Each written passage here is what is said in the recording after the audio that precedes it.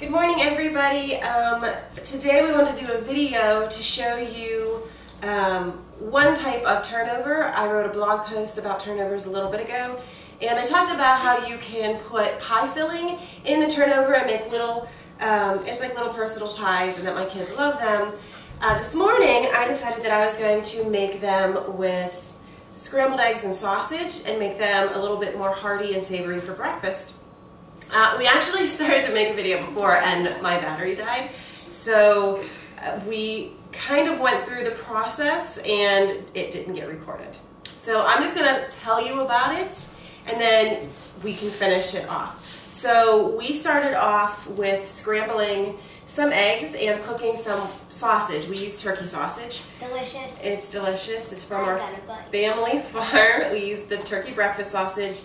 Um, one note when you're cooking turkey sausage, you're going to need to put a little bit of oil in your pan because it doesn't have the fat that pork sausage has, and it'll stick to the pan and burn. So you definitely want to put um, oil in the bottom so you don't have that. Um, once we had that together, we mixed it together. You will also need puff pastry sheets, and I use the Pepperidge Farm puff pastry sheets. Um, there's two in a package, which allows you to make eight turnovers. Um, each sheet makes four turnovers.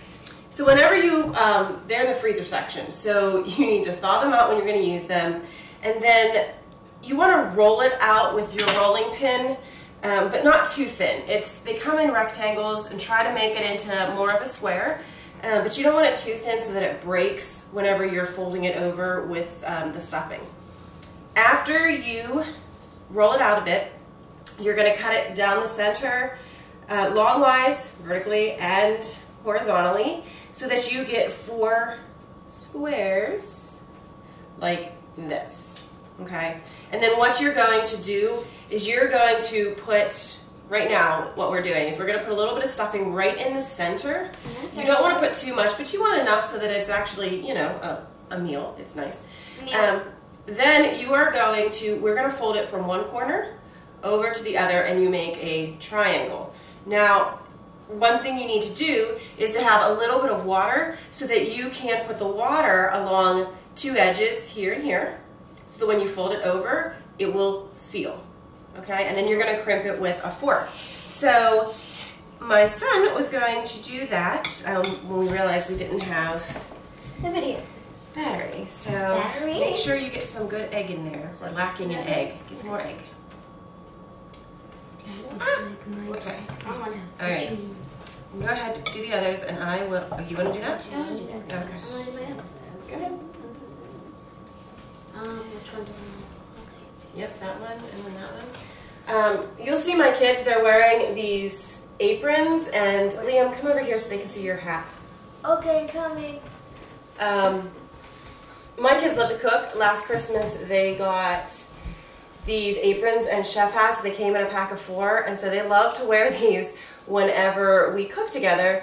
Um, so I'm just showing you guys that if you have little ones at home that like to cook, these are a great gift. Um, we got it on Amazon. I will try to find it and link to it. It also saves their kids clothes um, when they're doing stuff. You could use them for arts and crafts. That's because the last video didn't work, so I'm repeating myself now. Um, this is our first video, so we're we're new at this, and we're making some mistakes, and we'll learn from our mistakes. Yes, and we're doing this because these kiddos, um, part of the homeschool, we decided to start a blog. It's something that they can share their interests in, and I can share some of the things that we're doing with homeschool, um, especially with especially with what's been going on in 2020 and and what with 2020 and a lot of um, public school kids having to go um, virtual and do school from home. I've got a lot of questions about homeschooling and how we do it. So you can find that on the blog too, some tips on how we survive homeschooling because it was not easy when we started. Um, it takes some getting used to. Uh, so, stick it right in the middle, buddy. Okay. Did you did you wet it? Now. Wet it. My finger? Yep. So while you guys are doing that, I'm going to get some parchment paper on my baking sheet.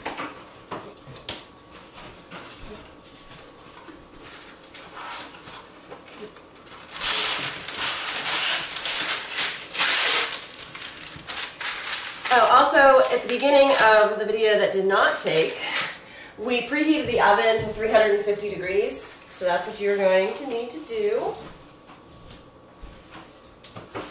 I'm going to warm up the hot chocolate again, guys. I think it got cold.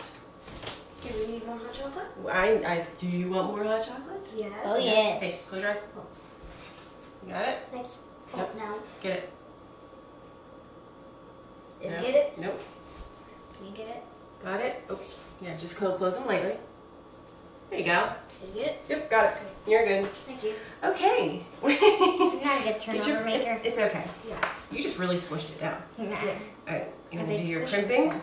Yes. crimp, crimp, Cramp. Cramp. Ooh, it has holes. Girl. Don't, you know, you don't want holes because it'll all leak out. I think you squeezed down a bit too much. Okay, keep going. Hey, at least it still works. Cramp. A bit. Cramp. Cramp. Cramp. Cramp. Cramp. Is it? Can I cramp this? No. Mike. What? Can I cramp this? You want to? Oh, not that side. No, no, no. Um, also, what you're going to need is some egg wash and a pastry brush. However, don't get discouraged. I don't have a pastry brush, um, and I still make them. I just use a spoon, and it's a mess. But um, the egg wash, which is just an egg and some water mixed together. Yes. Um, you just put the egg wash on top of your pastry before you, before you put it in the oven, and it makes it nice and golden brown. So I'm going to do this last one, and then we're going to pop these in the oven. Oven. Plop. Okay. A little bit more egg. We're like sausage heavy here. Yeah. All right. Water. Mike, Yep. um, can I hit start when you open? For it to cook it? So when you bake these, you're going to put them in the oven for about 20 minutes. And that's enough for your puff pastry to cook Can I do um, and get nice and golden brown.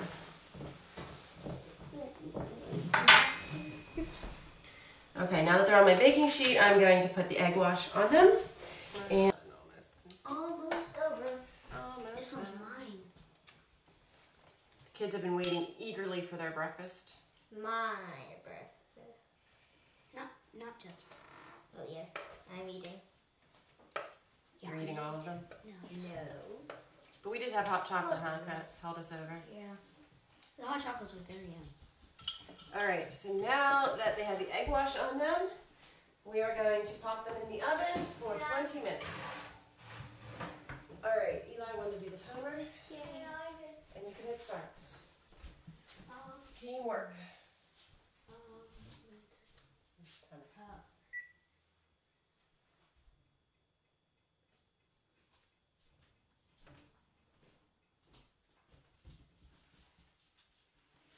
Give it start. Okay, mine. Now I hit start. Hit start. Okay, we gotta wait 20 minutes. We can have some more hot chocolate. Yay!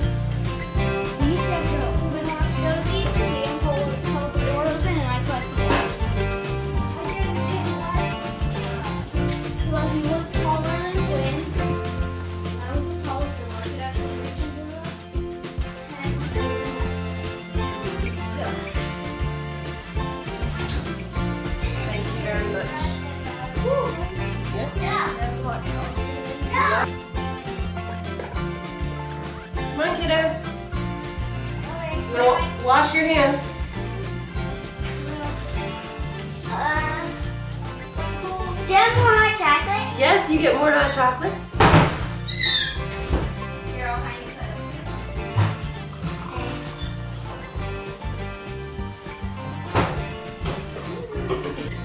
Let's see.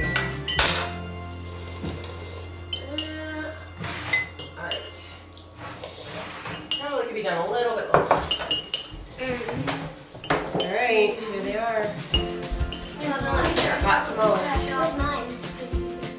This one was yours. Wait, I didn't get to do any. Oh,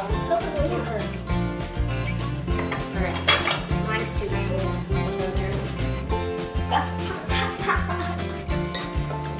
Did you save one for me? Okay, they're really hot, guys, so don't dig in right away. Did you save one for me to do? Yeah. Did you? Did you guys save one for me to do? So excited to choose. No. Excited to try something new. I'll need a fork.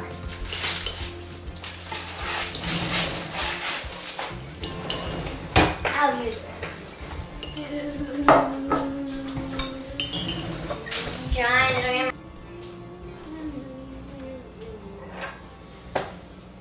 John, anybody tried it yet? Um, no, not yet.